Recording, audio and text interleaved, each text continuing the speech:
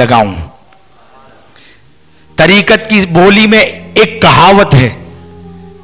और वो कहावत है, चिश्तियों ने पकाई और बुखारियों ने खाई। क्या है? चिश्तियों ने पकाई और बुखारियों ने खाई। सरकार शाह आलम रदी अल्लाह तन एक मरतबा अपने बिस्तर पर आराम फरमा रहे हैं। इमाम वसल्लम ख्वाब में तशरीफ़ लाए। फरमाया, बेटे, अल्लाह ने अपनी बारगाह से तुम्हें शाह आलम का मर्तबा अता किया है। तुम आलम के शाह हो। अब लोगों में ज़ाहिर करो कि तुम्हारा यह लकब है। अल्लाह अकबर, हज़रत शाह आलम इससे पहले कि कुछ अर्ज़ करते, आँख खुल गई। लेकिन औलिया अल्लाह जो होते हैं ना, वो बड़ी गैरत वाले होते हैं। कैसे होते हैं? गैरत वाले। वो अपनी अजमत शान, अपने मकाम, अपनी करामात अपनी करामात को ऐसे पोशीदा करते हैं, ऐसे छुपाते हैं, जैसे औरत अपने मखसूस अयाम को छुपाती है। लेकिन आज अजब जमाना है। आज अजीब दौर है। पहले दौर था कि बड़े छोटों को लकब से नवाजते थे। है ना? अब आज क्या हो गया है, पता है? खुद अपने ही लकब बना लेते हैं। खुद अपने ही लकब बना लेते हैं। फुला फुला फुला फुला। दो दो सत्रों में नाम लिखा जाता है। आधे आधे पेज में नाम लिखा जाता है। और सरकार शाह आलम को देखो, आका खुद आकर बशारत दे रहे हैं। मगर अपने आप से कहते हैं कि मुझे अपने इस मकाम को ज़ाहिर करते हुए हया आती है। अल्लाह अकबर।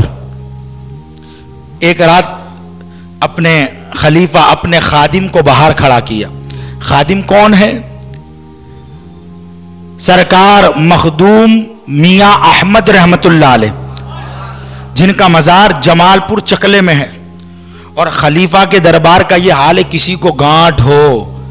या कोई भी ऐसी तकलीफ़ हो गई हो तो उनके मज़ार के इर्द गिर्द से पत्थर उठा ले। और फिर उस पत्थर को जब वहाँ लगाते हैं ना तो उनकी गांठें गायब हो जाती है। सरकार शाह आलम के गुलाम को अल्लाह ने यह मर्तबा दिया है। सुने, वो पहरा दे रहे थे। अचानक देखा आधी रात में पूरा कमरा रोशनो मुनव्वर हो चुका है। कहते, आधी रात में कमरा पूरा रोशन, जब खिड़की से झाँक कर देखा तो हज़रत शाह आलम ने अपनी दस्तार उतार दी, उतार कर रखी हुई है और अदब से हाथ बांधकर निगाह झुकाकर खड़े हैं। और मियाँ अहमद मखदूम रहमतुल्लाह देखते हैं कि सितारों की मानिंद नूर हैं और हज़रत शाह आलम के कान के करीब आकर दोबारा आसमानों में चले जाते। और कहते, फिर एक नूर ऐसा जगमगाया कि ऐसा लग रहा हो कि सो सूरज एक साथ जगमगा रहे हो। अल्लाह अकबर। हज़रत शाह आलम हाथ बाँध कर खड़े रहे। और फिर जब वो नूर ओझल हो गया निगाहों से गायब हो गया तो कहते हैं, सरकार शाह आलम ने अपनी दस्तार को पहना, कमरे से बाहर आए और अपने खादिम से फरमाया कि कुछ देखा कुछ देखा तो मियाँ अहमद मखदूम कहते, हुजूर, देखा तो सब कुछ, मगर समझ कुछ ना आया। देखा सब कुछ, मगर समझ कुछ ना आया। फरमाया, ये बात है तो हम समझा देते हैं। कहते, सुनो वो जो सितारों की मानिंद नूर आकर कान के करीब होकर जा रहे थे, ये अल्लाह के सारे औलिया, जमाते औलिया सितारों के नूर की मानिंद मेरे पास आ रहे थे। और अल्लाह की बारगाह से मुझे एक खास मकाम अता हुआ है। उस मकाम की मुबारकबाद देने के लिए आ रहे थे। और वो नूर ज़ाहिर हुआ। वो हमारे जद्दे पाक इमाम अंबिया, हबीब किबरिया, जनाब मोहम्मद सल्लल्लाहु ताला अलैहि वसल्लम और साथ में मलिका फिरदो से बरी, अली के घर की रौनक, मुस्तफ़ा के कलेजे की ठंडक हसनैन की मादर सैयदा तय्यबा ताहिरा, आबिदा, जाहिदा, पाकिजा, राजिया, मर्जिया, मुतहरा, सैयदा खातून जन्नत, बीबी फातिमत जहरा सलामुल्लाह अलैहा व रज़ियल्लाहु ताला अन्हा तशरीफ़ लाई थी अल्लाह अकबर, कहते ये दो हस्तियाँ आई थी और कहा, बेटे, कल सुबह उठकर अपने वालिद की बारगाह में जाना। शाह आलम सरकार फरमाते हैं, मैं उठा, सुबह हुई, सरकार कुतब आलम के पास गए। तो चेहरा देखकर कहते आओ शाह आलम, आइए शाह आलम। और सर पर फूलों की एक टोकरी रखी और रखकर कहा शाहीबाग शाहीबाग चिश्तिया खान का है। और वहाँ निज़ाम पाक के खलीफा ख्वाजा बाबा बाराकुल्ला चिश्ती, उनकी बारगाह में चले जाओ। देखो सिलसिलों की मोहब्बत सोहरवर्दी सिलसिले वाले चिश्तियों की बारगाह में जा रहे हैं।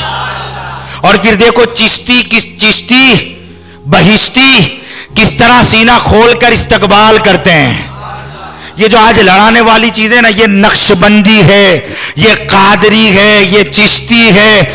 मैं कहता हूँ, चिश्ती हो, कादरी हो सोहरवर्दी हो, नक्शबंदी हो, जो भी हो, सब हमारे हैं। ये जहन रखो, सब हमारे हैं। सब हमारे सरों के ताज है। सारे सिलसिले के औलिया, सारे सिलसिले के शुयूख, हमारे आका और हमारे सरों के ताज है। अदब वाले बनो, बेअदब मत बनो। अदब वाले बनो, बेअदब मत बनो। हज़रत शाह आलम के सर पर फूलों की टोकरी है। अब सोहरवर्दी खानका से सोहरवर्दी कलंदर निकला और चलते चलते चिश्तिया खानका में पहुँचा। हज़रत बाबा बाराकुल्ला चिश्ती रहमतुल्ला एक दीवार तामीर कर रहे थे, चेहरा देखा, कहा, आओ शाह आलम। हाथ पकड़ा और हाथ पकड़कर अपने भाई हज़रत सैदुना ख्वाजा अताउल्ला चिश्ती की बारगाह में ले गए। जब ख्वाजा अताउल्ला चिश्ती के पास गए, उन्होंने चेहरा देखा, आओ शाह आलम। और एक हांडी पक रही थी, हांडी तैयार है, उसको उठाया और कहा, तुम्हारे सर पर फूलों की टोकरी नहीं, गुजरात की विलायत अच्छी लगती है।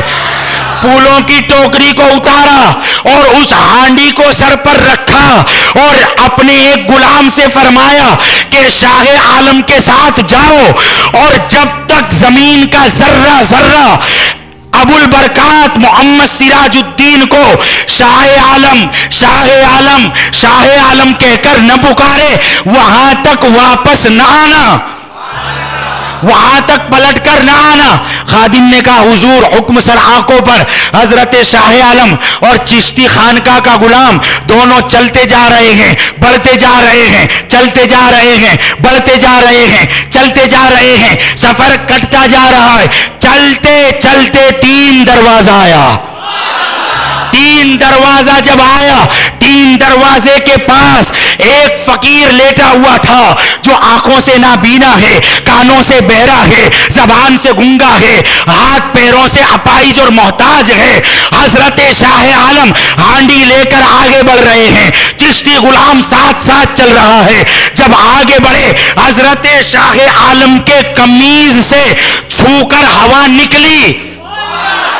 आपके खरके को, आपके लिबास को हवा छूकर निकली और जब उस फकीर को लगी तो आँखें रोशन हो गई, जबान बोलने लगी, कान सुनने लगे, हाथ पैर काम करने लगे। वो उठा और नारा लगाया, आप शाह आलम हो, आप शाह आलम हो, आप शाह आलम हो। अभी वो कह ही रहा था कि तीन दरवाजे की दीवारों से आवाज़ आने लगी। आप शाह आलम हो, आप शाह आलम हो, आप शाह आलम हो। अभी तीन दरवाज़ा बोल ही रहा था। अब आसमान से आवाज़ आई, अब ज़मीन से आवाज़ आई। एक एक जर्रा बोल रहा है, आप शाह आलम हो, आप शाह आलम हो, आप शाह आलम हो। अल्लाह अकबर, शाह आलम ने चिश्ती गुलाम का चेहरा देखा और फरमाया, तुम्हारा काम हो गया, जाइए। अल्लाह अकबर। सरकार शाह आलम अब चले अपनी खानका में। हज़रत कुतुब आलम ने उनका इस्तकबाल किया। और कहा, अल्लाह की बारगाह से ये जो लकब मिला है ना शाह आलम, मुबारक हो। और फिर वो हांडी उसमें से निकाला गया। ये हांडी गुजरात की विलायत थी। सबको खिलाया गया। हज़रत कुतब आलम ने खाया, शाह आलम ने खाया।